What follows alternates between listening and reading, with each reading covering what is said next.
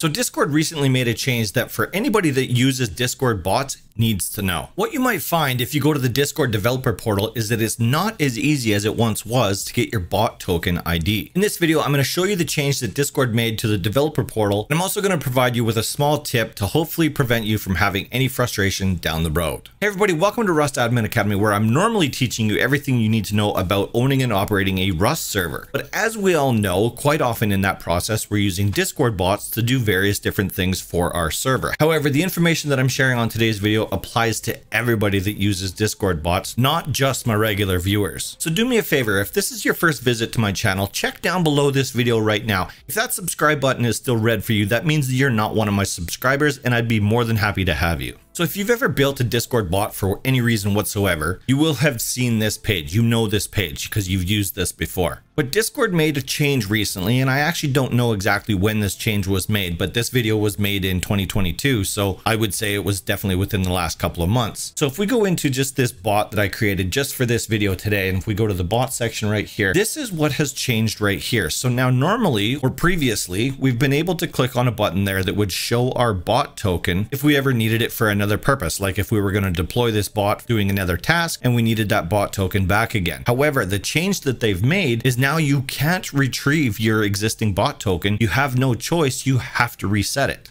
So if you no longer have access to the bot token or whatever it was before, and you need it for another purpose, you have to click on this reset button. So if you click on this reset token button, it's immediately going to reset that token and anywhere where that bot is currently working is going to stop working. So if I had this bot working at job A doing whatever, and I decided that I wanted to use that same bot to do job B, and I wanted to grab that token so I could deploy it on whatever job B is, but I don't have access to the bot token within job A, I would have to reset that token, which would make job A no longer work without entering in the new bot token that's going to generate for me. And then I can take that bot token and take it over to job B and it would do the same thing over there. And that's fine as long as we keep track of our bot token. So what I'm suggesting for you today is when you ever have to reset your bot token, or if you're creating a new bot for whatever job, is have a notepad somewhere. And I don't mean a physical notepad, I mean like a digital notepad somewhere where you can actually copy this bot token down with the description or whatever it is that you need so that you know what this bot is actually doing so that you can refer back to it later rather than having to reset this token. For people that are just using Discord bots for one job, one simple task, this really isn't that big of a deal. However, there are people out there that have one bot doing the same job over multiple different servers. So this information is going to matter to you. So what I'm suggesting you do is if you need to reset your token or if you're getting a brand new token for whatever reason, is grab that token, copy it to your clipboard, take it to whatever notepad application you're comfortable with using, and put some notes on it so that you know what this bot token is for if you ever needed to refer back to it in the future. So as you can see here, I just took my bot token, I copied it into my Notepad++. I put a little note after it saying this is for the YouTube bot video and that it's supposed to be deleted as soon as this video is posted. So all I'm saying here is, is keep track of your bot tokens and no matter what, it's not retrievable if you don't have the original location where you were using your original bot token. They even say it on here now, and I'm pretty sure that they had some sort of verbiage on here before that was similar to this, but for security purposes, tokens can only be viewed one time. Once created, if you forget or lose that token, you have to generate a new one. So as is with all of my videos, anytime I'm displaying a bot token on screen, just know that I delete that bot or I reset that token after the video is recorded. So that token will no longer be valid by the time you guys see this video. Anyways, I hope this helps somebody out if they're searching around for trying to figure out how to get their bot token back.